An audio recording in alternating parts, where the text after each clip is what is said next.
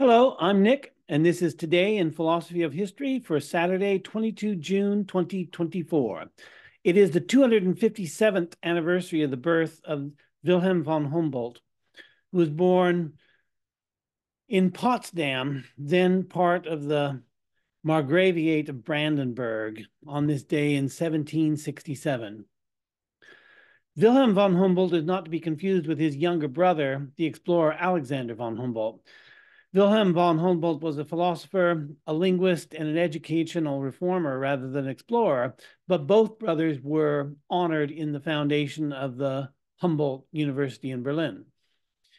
We don't typically think of Humboldt when we draw up the short list of Enlightenment thinkers, which would probably include names like Kant, Hume, Gibbon, Voltaire, Diderot, D'Alembert, etc., etc. But we could well include Humboldt among them. Humboldt wrote a book called, or translated as, The Limits of State Action, which was published posthumously in 1852 and which was translated into English a couple of years later.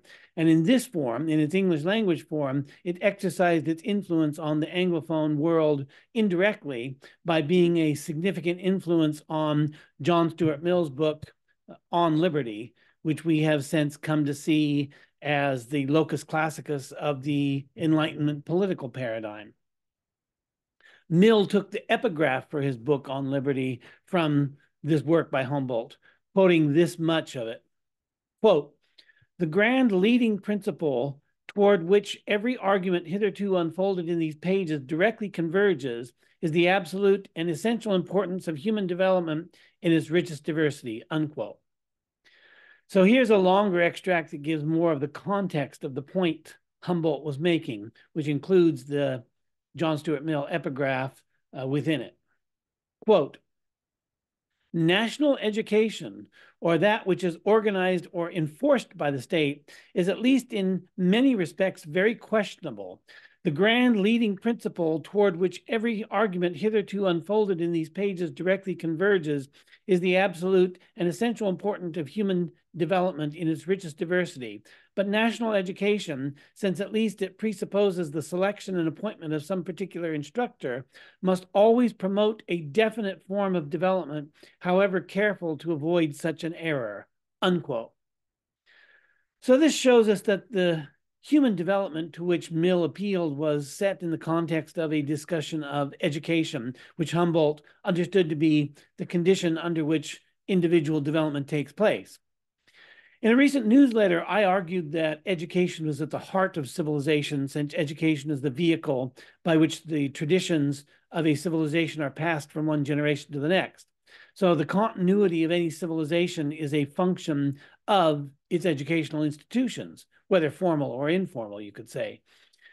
I'm not aware whether Humboldt explicitly formulated this connection between education and civilization, but we know he was an educational reformer and an influential one at that. And we know that he wrote about civilization. So he did entertain both ideas.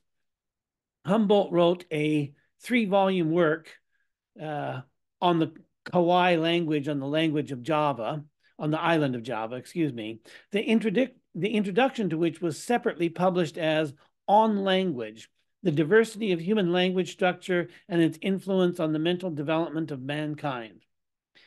The introduction to this book on language is a remarkable meditation on culture, civilization, and cognitive development, among other things. And it includes, quote, where man appears, he acts in a human way, combines gregariously, creates organizations, gives himself laws, and where this has occurred in a more imperfect fashion, supervening in individuals or dynasties transport thither that what has succeeded better in other places. With the rise of man, therefore, the seed of civilization is also planted and grows as his experience evolves. Thus, humanization, this humanization we can perceive in advancing stages. Indeed, it lies partly in its own nature, partly in the extent to which it has already prospered, and its further perfecting can hardly in essence be disturbed, unquote. Here again, as with his remarks on education quoted earlier, we see a developmental conception, but is here applied to civilization, which is the same, which is at the same time a selective conception, as Humboldt is arguing that social institutions that have succeeded better elsewhere can be brought to a geographical region where these institutions were imperfect, and the more successful institutions will outcompete the native institutions. This was a generation before Darwin and the explicit formulation of natural selection as a mechanism of selection. And this developmental and selective understanding of social institutions explains in part what Humboldt was driving at in the following passage from the next section. Quote, Civilization can come forth from within a people and testifies in that case to that uplifting of the spirit which cannot always be explained. If, on the other hand, it is implanted in a nation from without, it spreads more quickly and also perhaps penetrates into every branch of the social order, but does not react so energetically upon mind and character. It is a splendid privilege of our own day to carry civilization into the remotest corners of the earth to couple this endeavor with every undertaking and to utilize power and means for the purpose, even apart from other ends. The operative principle here of universal humanity is an advance to which only our own age has truly ascended, and all the great discoveries of recent centuries are working together to bring it to reality. Unquote. After Humboldt makes that argument, he talks about the discussion he discusses um, the the colonization efforts of the the Greeks and the Romans in classical antiquity and finds it wanting in comparison to what has been done in the modern era in terms of of dispersing civilization more widely. If we were to take this quote from Humboldt out of context, would sound like a defense of imperialism. And I can easily imagine that there are many people today who would read it in this way, even with the full context supplied. As an Enlightenment thinker, Humboldt was a true believer in universalism, and it follows from this universalism that what works better elsewhere should eventually spread until everyone has the benefit of these optimal institutions. We can find all kinds of problems with Humboldt's account of civilization if we want to if we want to look for them.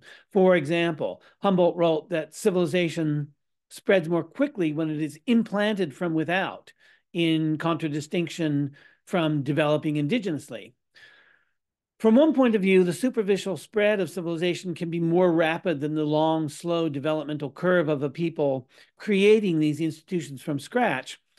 So Humboldt's claim sounds counterintuitive to me, but the argument certainly could be made for that. However, the rapid spread of civilization comes at a cost, as Humboldt acknowledges at the end of this paragraph, where he notes that the original individuality of a people who have had civilization implanted from without is nipped in the bud. We could also add that this kind of superficial development is shallow and doesn't run deep, which Humboldt already implied in, in the in the quote I read from it, it's uh, the implication that it doesn't sink very deep into the, the cognitive life of the people so influenced. Uh, as a consequence, I would also argue uh, a civilization imposed from without isn't going to be resilient because it doesn't have deep roots. So these and many other these and many other objections might be made to Humboldt's account of civilization, but what is of most interest here is that Humboldt's account of the origins of language and culture and civilization is completely naturalistic to a degree that is rarely seen at this point in time in history. In studying the languages of Java, Humboldt affirmed that, quote, Java manifestly received higher civilization and culture from India, and both in a significant degree. But the indigenous language did not, for that reason, alter a form that was more imperfect and less adapted to the needs of thought. On the contrary, the needs of thought, on the contrary, it robbed the incomparably nobler Sanskrit of its own form to force it into the local one. And India itself however early it was civilized and not through foreign mediation, did not obtain its language from this, the principle thereof, profoundly created from the truest linguistic sense, flowed rather, like that civilization itself, from the gifted mentality of the people, unquote. It was rare at this time to recognize the independent origins of multiple civilizations, of one of which would be Indian civilization. Even today, with all the archaeological evidence we have, there are still people who argue for a what I would call a hyperdiffusionism, in which civilization originates only once in one place and was subsequently dispersed to every inhabited geographical region. Humboldt is clearly making the case that Indian civilization had an indigenous development. And that's that's an unusual position to hold at the time and worth noting. And it's also an implicitly naturalistic position to recognize that civilizations, uh, when the conditions are right, when the boundary conditions are met, you could say, uh, can spring up wherever and whenever, you could even say. Humboldt's writings on language, culture, and civilization are relevant to philosophy of history. But like his influence on John Stuart Mill, the influence of these writings is mostly indirect. Humboldt made at least one explicit contribution to historiography in an 1821 paper that was translated in History, as theory, History and Theory as On the Historian's Task. Here is Humboldt's opening paragraph from that address. Quote, the historian's task is to present what actually happened. The more purely and completely he achieves this, the more perfectly he has solved his problem. A simple presentation is at the same time the primary indispensable condition of his work and the highest achievement he will be able to obtain. Regarded in this way, he seems to be merely receptive and reproductive, not himself active and creative, unquote. Even while asserting that the historian must be guided by ideas, Humboldt warns his audience against an overtly uh, philosophical approach to history. Quote, the understanding of events must be guided by ideas. It is, of course, self evident that these ideas emerge from the massive events themselves, or to be more precise, originate in the mind through contemplation of these events undertaken in a truly historical spirit. The ideas are not borrowed by history like an alien addition, a mistake so easily made by so called philosophical history. Historical truth is, generally speaking, much more threatened by philosophical than by artistic handling, since the latter is at least accustomed to granting freedom to its subject matter. Philosophy dictates a goal to events. This search for final causes, even though it may be deduced from the essence of man and nature itself, distorts and falsifies every independent judgment of the characteristic working of forces. Unquote. This reminds me of Jakob Burckhardt's repudiation of philosophy of history. Burckhardt wrote, quote, Above all, we have nothing to do with the philosophy of history. The philosophy of history is a centaur, a contradiction in terms, for history coordinates and hence is unphilosophical, while philosophy subordinates and hence is unhistorical. Unquote. Perhaps in Humboldt and definitely in Burckhardt, these pro forma disavowals of philosophy of history are intended to distance the authors from speculative or substantive philosophy of history, which is uh, treated as though it were the only kind of philosophy of history. Both Humboldt and Burckhardt have much to say that could be taken to contribute to analytical philosophy of history, at least in an inchoate form. Perhaps a better comparison than Burckhardt would be Geoffrey Elton's criticism of what he called thesis driven history, or what Georg Simmel called extra theoretical interests in history. But historians are always on the, the lookout for writers imposing an agenda upon history. In his 1950 presidential address to the American Historical Society, Samuel Eliot Morison noted Humboldt's anticipation of Wie es eigentlich gewesen dictum. Quote, I stand firm on the oft quoted sentence of Leopold von Ranke, which we American historians remember when we have forgotten all the rest of our German. The present investigation, said Ranke in the preface to his first volume, published in 1824, will simply explain the event exactly as it happened. Ranke was far from being the first to say that. He picked up the phrase, I imagine, from Wilhelm von Humboldt, who, in an address to the Prussian Academy three years earlier, declared the proper function of history to be the exposition of what has happened, unquote. Yesterday, in my episode on Reinhold Niebuhr, I also mentioned another saying of Ranke, the idea that all ages are equidistant from eternity. But since I haven't yet recorded an episode on Ranke, I'm going to pause a moment to explain a little bit more about his influence. If you haven't read much historiography or philosophy of history, it's possible that you've never heard the name of Leopold von Ranke. But as soon as you open up a book on historiography, you'll find that Ranke is a dominating presence.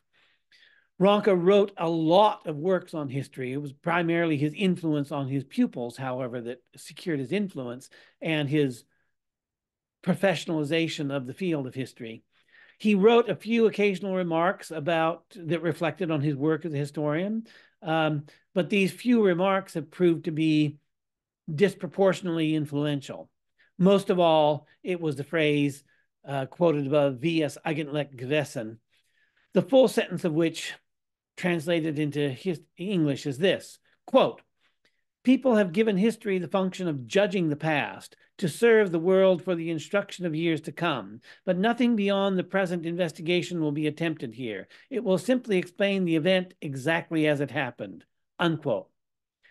Es eigentlich gewesen became an unlikely slogan among historians, and it has been translated in many different ways, such as the way it really was, or how it really was, or how it actually was, or the above uh, version of the event exactly as it happened. So, insofar as Humboldt was understood to be anticipating this dictum of Ranke, his contribution is deemed significant simply because of Ranke's influence. The passage from Humboldt referenced by Morison in that quote was quoted in Benedetto Croce's History as the Story of Liberty, in which Croce comes goes to some length to credit Humboldt with the origin of several ideas about history that Croce himself would further develop and call historias, historicism. But as we've seen in several episodes, everybody has their own definition of historicism. So you have to explain what you mean when you talk about it. So here is some of Croce's exposition of Humboldt.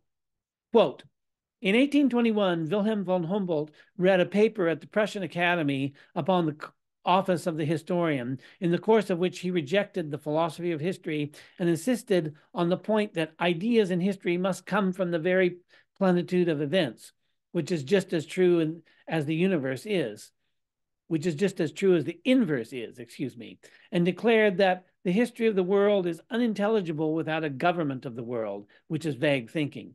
Yet, survivor as he was of the great age which was just then closing, he aspired toward the function, toward the fusion of ideas with events, as the artist does in the poetic image, and he was aware and fully conscious of the many difficulties which had to be overcome here. Those who followed on him made of these provisional and groping propositions a definite doctrine, and of this perplexed and and of his perplexed and cautious start a halting place. Ranke was of this number.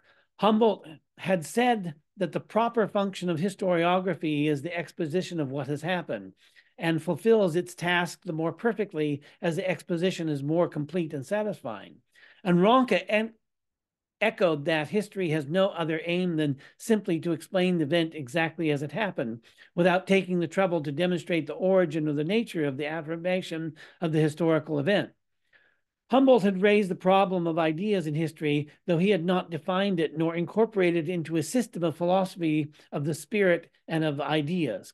Ranke always spoke of these ideas or tendencies of various epochs, but he did not allow himself or anyone else ever to go so far as to define them or elaborate them as concepts. He insisted that they could only be intuited by seeing them in an event, unquote. So that was Croce's interpretation of Humboldt's uh, character, characterization of the historian's task. And historian Humboldt concludes his paper on the historian's class task with this reflection. Quote, There are two things which the course of this inquiry has attempted to keep firmly in mind that there is an idea, not itself directly perceptible in everything that happens, but that this idea can be recognized only in the events themselves. The historian must, therefore, not exclude the power of the idea from his presentation by seeking everything exclusively in his material sources. He must at least leave room for the activity of the idea. Going beyond that, moreover, he must be spiritually receptive to the idea and actively open to perceiving and appropriating it. Above all, he must take great care not to attribute to reality arbitrarily created ideas of his own and not to sacrifice any of the living richness of the parts in his search for the coherent pattern of the whole. This freedom and subtlety of approach must become so much a part of his nature that he will bring them to bear on the investigation of every event. For no event is separated completely from the general nexus of things, and part of every occurrence lies beyond the pale of direct perception, as we have shown above. If the historian lacks the, his freedom of approach, he cannot perceive events in their scope and depth. If he lacks subtlety and tact, he will destroy their simple and living truth. Unquote.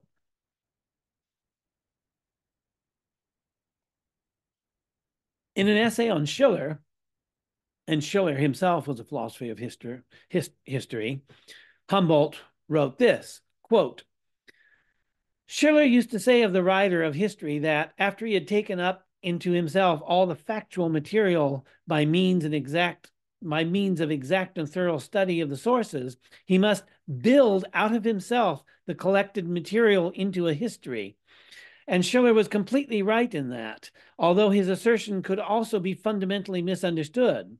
A fact can be merely transcribed into a history as little as a fa facial expression of a human being into a portrait.